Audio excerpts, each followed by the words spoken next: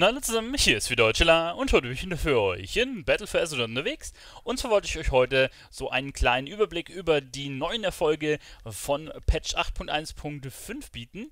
Und dazu habe ich mir schon hier meinen Char auf den PTR rüber kopiert und habe schon mal ein bisschen durchgeguckt, was wir so Neues erspielen können so viel wie es scheint, ist es gar nicht, denn leider ist es beim Kopieren so, dass es ja nicht alle Achievements übernimmt, sprich nicht alle, die unerfüllt sind, sind auch neu an der Stelle ähm, ja, als Hinweis. So, als allererstes und erstes Achievement haben wir hier unter Quests Battle for Azeroth den Erfolg Jede Geschichte hat zwei Seiten. Das hatte ich ja auch schon in meinem, ja, meiner Mount-Übersicht über den Patch mit drin, denn dafür gibt es auch zwei Reittiere. Und was müssen wir dafür machen? Wir müssen sowohl auf der Horden-Seite als auch auf der Ali-Seite einmal die Geschichtsstränge von der War Campaign aus 8.0 machen und dann auch die Geschichtsstränge, das ist hier Woge der Rache, die in Patch 8.1 dazugekommen sind.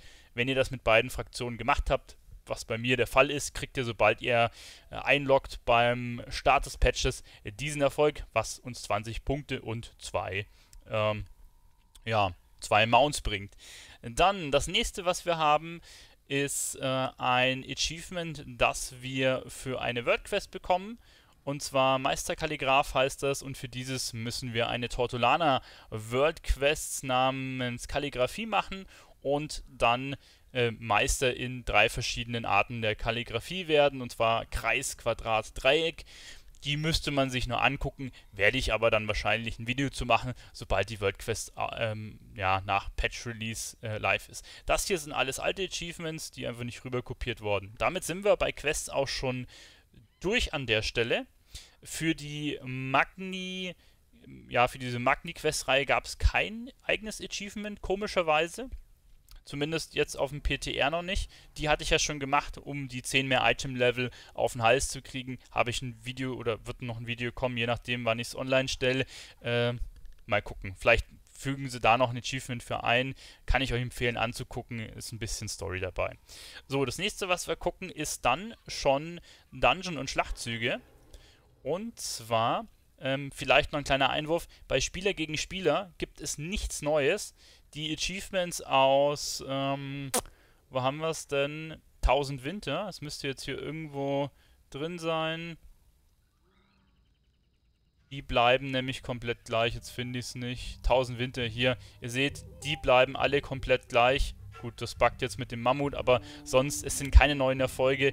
Wenn ihr die Achievements schon alle habt von 1000 Winter, braucht ihr das BG wegen, wegen Erfolgen nicht machen. Wenn ihr es aus Nostalgiegründen oder Ehrefarmen machen wollt, ist das dann eine andere Sache. Aber Achievements gibt es hier keine neuen unter Spieler gegen Spieler. Genau, dann gehen wir weiter unter Dungeon Schlachtzüge. Da gehen wir einmal runter äh, auf Battle for Azeroth. Und wenn wir hier runter scrollen, dann haben wir jetzt insgesamt 1, 2, 3, 4, 5 Erfolge, die wir einmal in der neuen Raid-Instanz, und zwar Titel der Stürme haben. Ähm, das, was wir ganz normal kennen, jeden Boss einmal töten, ist relativ selbsterklärend. Dann haben wir einmal den ersten Boss und den zweiten Boss im Mythisch legen und dann nochmal ein Achievement beim ersten und zweiten Boss. Dazu kann ich jetzt aber noch nicht sonderlich viel sagen, weil ich die Bosse auch noch nicht kenne. Äh, da werde ich dann extra nochmal eingehen, sobald der Raid draußen ist und man die Bosse spielen kann, beziehungsweise dann auch die Erfolge machen kann. Wird wahrscheinlich, wie man hier sieht, normal, genau, kann man dann wieder im normalen Modus beides machen. Gut, so viel dazu. Dann schauen wir weiter und zwar unter Berufe. Und hier gibt es ein einziges neues Achievement. Und zwar heißt das das richtige Handwerkszeug.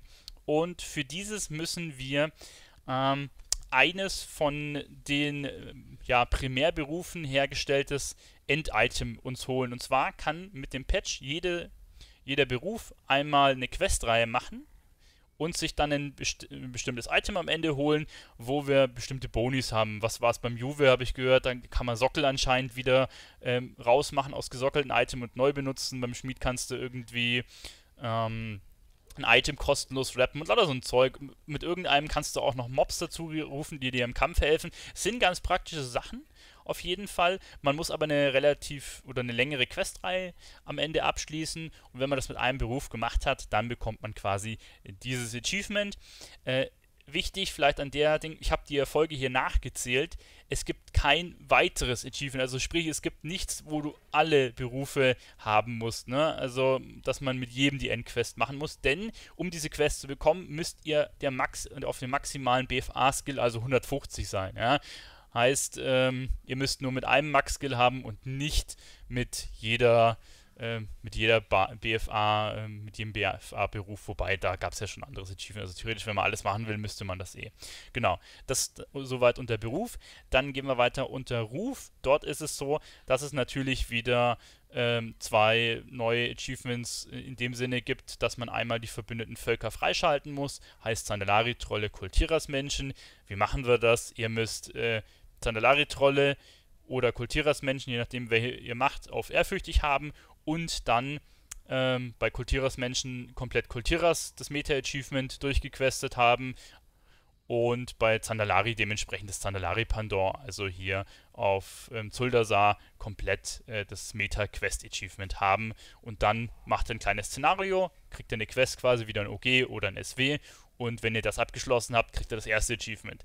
Dann gibt es noch äh, zwei weitere, und zwar wie es auch schon bei allen anderen ist. Man muss die einmal auf, hier haben wir es Kultirana, einmal auf 110 bringen. Gibt es dann nochmal 10 weitere Achievement-Punkte und selbiges natürlich auch bei den zu, ähm, Zandalari. Ne? Dann habe ich gesehen, gibt es neue Sachen bei den Weltereignissen. Und zwar hat Blizzard schon beim Sonnenwendfest was eingefügt. Und wenn wir jetzt mal gucken, gibt es nämlich dann einmal Flammen bei den, äh, ja, quasi einmal in Zuldasar und Flammen in ähm, Kultiras. Und zwar muss man als Hordler quasi die Dinger löschen äh, auf, der, auf dem feindlichen Kontinent und auf dem eigenen quasi ehren die Flammen. Und bei der Allianz äh, ist es halt genau andersrum. Ne? Also quasi gibt es bei der Horde zwei Achievements, bei der Allianz zwei Achievements. Soweit dazu. Dann ähm, können wir weiterschauen und zwar ähm, haben wir dann noch die Kampfgilde. Und ihr seht schon, das sind alte Achievements, die weiter noch mitzählen. Und zwar, dass man hier das Gold holen muss oder ähm, so eine Prügelei gewinnen und solche Sachen, das zählt weiter bei den alten Sachen, aber wir müssen die Ränge quasi neu erspielen. Und zwar ist das erste Achievement, dass wir quasi einen Kampf gewinnen müssen, dann ähm, gibt es ein Achievement für Rang 4 zu erreichen und wieder ein Achievement für Rang 8 zu erreichen, quasi das ist dahinter versteckt einmal. Und dann haben wir nochmal ein zusätzliches Achievement hier dass man diese Random-Kämpfe quasi, also diese zufälligen Grubenkämpfe gewinnen muss, und zwar wieder 10 Stück. Ja. Heißt, äh, hier, wenn wir gucken, ich habe 4 von 8, das ist 1, Gewinnen ist 2, Rang 4 werden ist 3 und Rang äh, 8 ist quasi äh, dann in dem Fall das vierte und dann haben wir insgesamt 8 Achievements damit zusammen. Ja, das nächste, was wir dann haben, ist unter Haus, jetzt bin ich gerade überlegen, ist das unter Haustierkampf? Genau, dann unter Sammlungen und dann müsste es hier unten sein.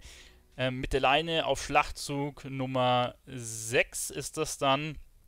Und da müssen wir quasi in die MOP-Dungeons rein und können dann hier wieder Pets sammeln. 1, 2, 3, 4, 5, 6, 7, 8, 9, 10, 11 Pets. Ja, und kriegen dann als Belohnung dementsprechend auch wieder ein Pet. Freuen, äh, Belohnung, Freude. Okay. Ja, mal gucken, müssen wir schauen, wie die Pets aussehen. Das werde ich dann aber vielleicht äh, zeigen, wenn es live ist und ich mir das auch farmen werde. Genau. Ja, das war es eigentlich schon mit Achievements. Ist eigentlich alles relativ leicht erreichbar. Denke ich mal, kann man, äh, kann man sogar geschmeidig in einem Wochenende machen. Gut, die verbündeten Völker hochzuleveln wird wahrscheinlich ein bisschen länger dauern. Und der neue Raid kommt auch noch nicht am 13. raus, sondern der kommt, glaube ich, erst ein bisschen über einen Monat später raus. Ich meine am, am 17. April, irgendwie sowas um den Dreh. Also einen knappen Monat äh, oder ein bisschen mehr als einen Monat äh, später kommt dann dementsprechend erst der Raid raus und dann kann man erst die Raid Achievements angehen. Mythic wird wahrscheinlich dementsprechend knackig werden, wie die zwei äh, Achievements sind, die man normal machen kann, weiß ich jetzt noch nicht, muss man sich dann dementsprechend erst angucken. Ja, das war's erstmal so an den Erfolgen. Sollte ich irgendwas vergessen haben, schreibt mir das gerne in die Kommentare rein, dass wir da einen Gesamtüberblick haben. Und sonst, ja, hoffe ich, dass ich mit dem Video euch ein bisschen weiterhelfen konnte. Sollte es der Fall sein, würde ich mich freuen, wenn ihr mich positiv bewertet. Und wenn ihr mehr solche Videos sehen wollt, könnt ihr mich selbstverständlich gerne abonnieren. Euer Tila, bis zum nächsten Mal. Ciao.